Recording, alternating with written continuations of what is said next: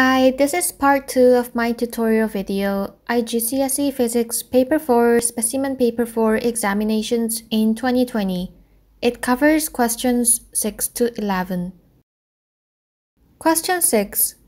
Figure 6.1 shows a scale drawing of a plane wave fronts approaching a gap in a barrier. The wave is traveling in this direction and there is a barrier here. Part A. On figure 6.1, draw the pattern of the wave fronts after the wave has passed through the gap. This is an example of diffraction of waves, so the shape will be a semicircle like this. Draw 3 or 4. Also, the wavelength of the wave fronts should be the same as the original wavelength because there will be no change in its frequency, not too narrow or too wide compared to the initial wave. Part B. The wave approaching the barrier has a wavelength of 2.5 cm and a speed of 20 cm per second. Calculate the frequency of the wave. You need to know the formula for this. It's about wavelength and speed, so it's v equals to f lambda, which means speed equals to the productive frequency and wavelength. We're trying to find the frequency, so it's speed divided by wavelength. 20 over 2.5 and the answer is 8 Hertz. Remember the unit of frequency is Hertz or you can also put it as inverse of second. Part C. State what happens, if anything, to the frequency of the wave as it passes through the gap. Well, I've set this answer for this in part A. The frequency of the wave does not change after diffraction, so it will be the same. Part D. Explain in terms of diffraction why a car radio may pick up low-frequency radio signals but not pick up high-frequency radio signals when the car is traveling behind the hill. Let me draw this scenario for you. The signals are coming from here, and the car is here behind the hill. The question said the car can only pick up low frequency radio signals. Why is that so? It's because low frequency signals have longer wavelengths. And when there is long wavelength, the signals diffract more, allowing the signals to move across the hill and reach the car. Low frequency signals have longer wavelengths than high frequency signals and longer wavelength signals diffract more.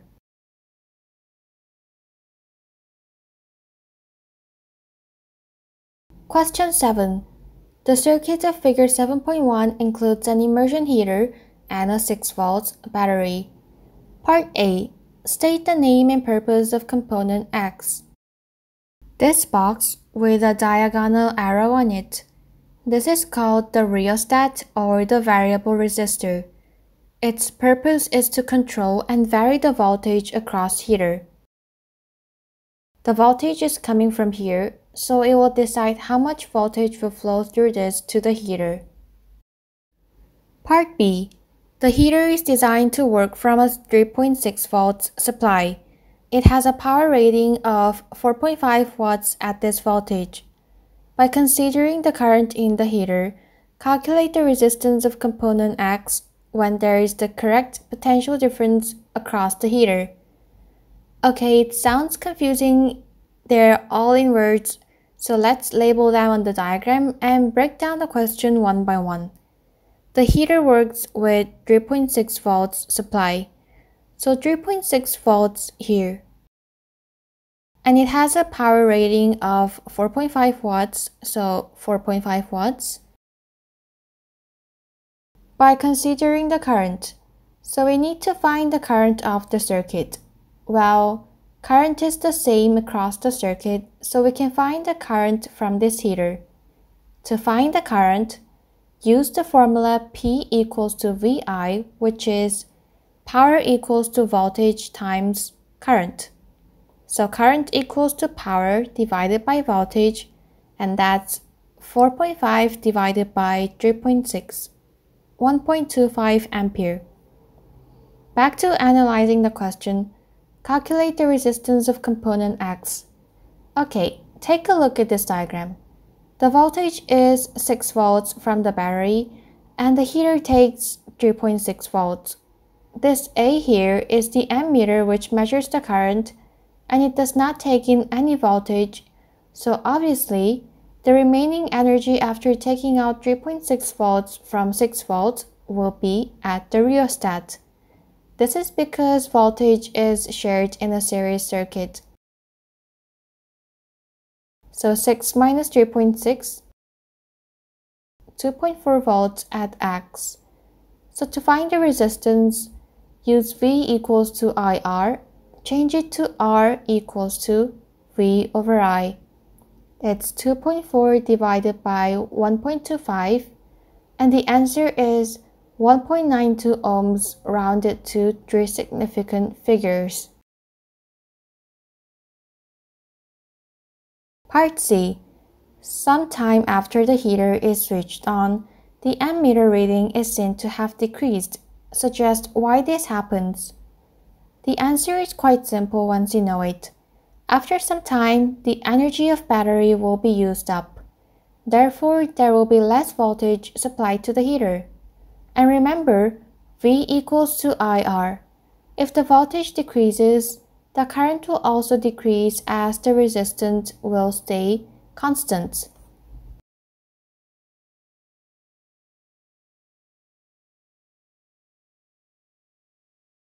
Question 8.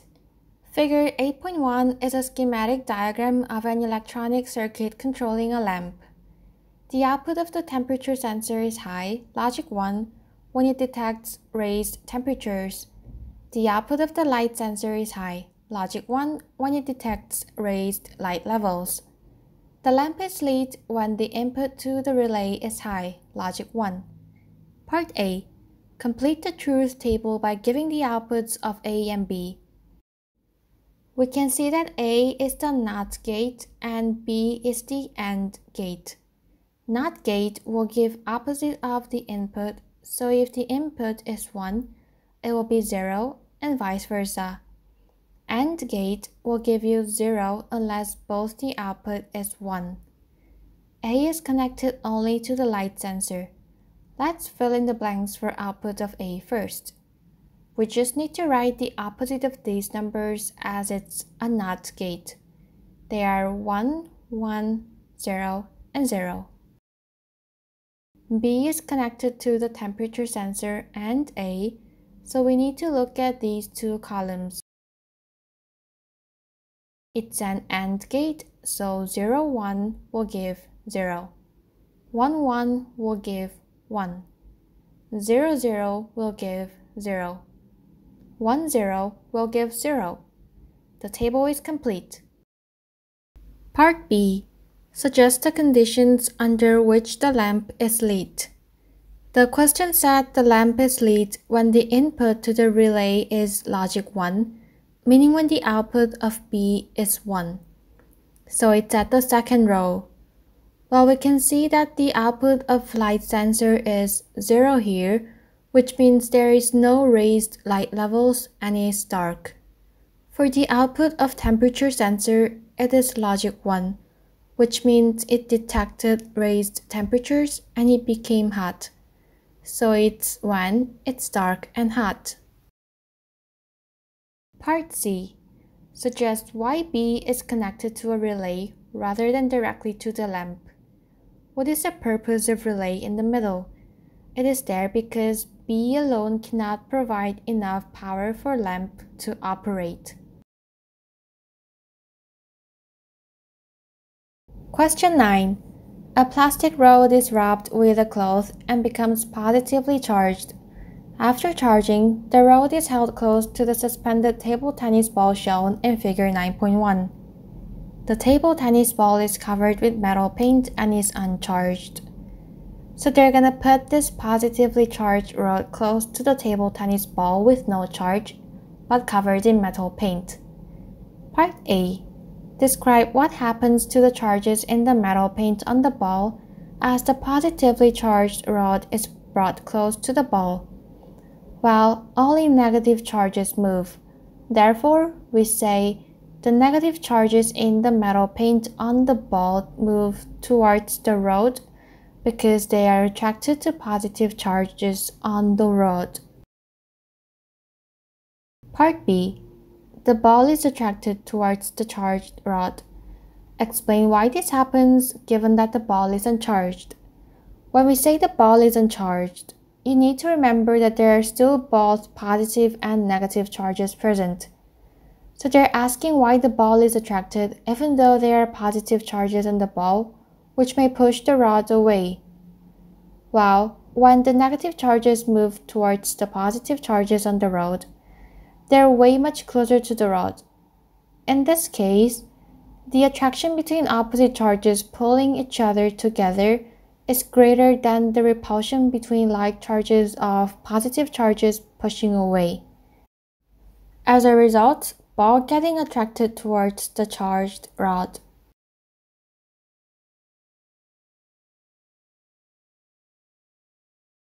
Part C. State the unit in which electric charge is measured. The unit of charge is Coulomb. Question 10. Emissions from a radioactive source pass through a hole in a lead screen and into a magnetic field as shown in figure 10.1. The experiment is carried out in a vacuum. So the radioactive emission will pass through in this direction and there is a magnetic field going into the paper. Radiation detectors are placed at A, B, and C. They give the following readings. The radioactive source is then completely removed and the readings become as shown in this table.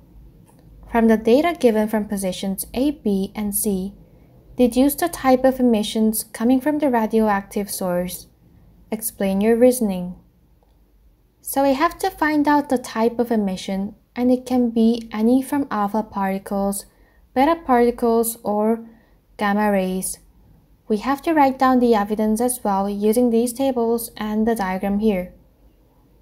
Okay, so let's say it was the alpha particles. How would they travel across this? Using left-hand rule, the field into the paper and the current towards the right, the movement will be towards the top. Therefore, alpha particles will travel upwards.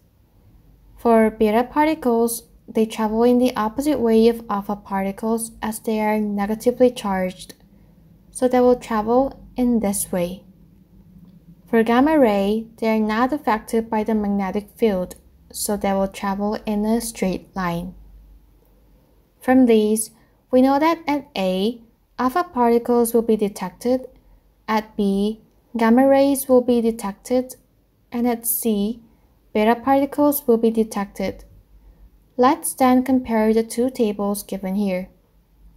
The reading when the radiation detectors are placed is very low compared to the other two, and there is almost no change in A even when the radioactive source has been removed, meaning no alpha particles have reached A from the beginning and no alpha particles have been emitted from the source.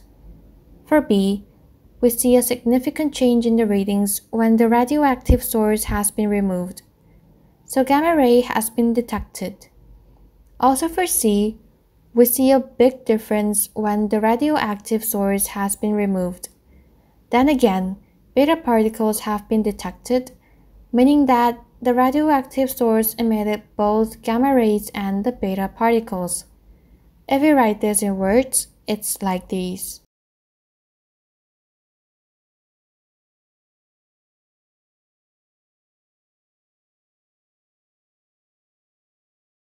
Question 11.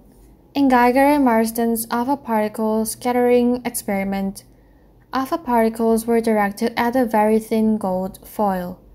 Figure 11.1 shows five of the nuclei of the atoms in one layer in the gold foil. Also shown are the paths of three alpha particles directed at the foil. Part A. On figure 11.1, complete the paths of the three alpha particles. The top one is pretty close to this nuclei of the atom, so it will end up like this, deflected down the layer. The middle one will go straight through as there is no nuclei nearby. The bottom one is going straight to the center of the nuclei, so it will be completely deflected back in this direction. Part B. State the result of the experiment that shows that an atom consists of a very tiny charged core containing almost all the mass of the atom. How do we know from this diagram that the mass is concentrated at the center of the atom?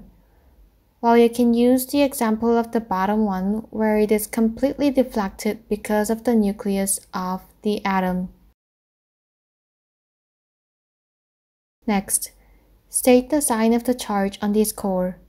What are the components in the nucleus of an atom? There are protons and neutrons, so the overall charge will be positive. Next, state what occupies the space between these charged cores. There's pretty much nothing except few electrons, so you can write nothing or vacuum or just space or electrons. Part C. The nuclide notation for an alpha particle is 42 alpha. State the number of protons and neutrons in an alpha particle. We write the proton number at the bottom, so it's 2. The number on top stands for the nucleon number, which is the sum of protons and neutrons. So to find the number of neutrons, minus the proton number from the nucleon number, which is 4 minus 2, and the answer is 2.